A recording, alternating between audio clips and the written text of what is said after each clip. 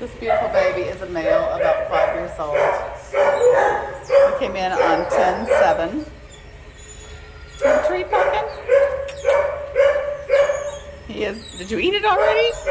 He is located at Animal Care Services in San Antonio, Texas. Look how beautiful you are.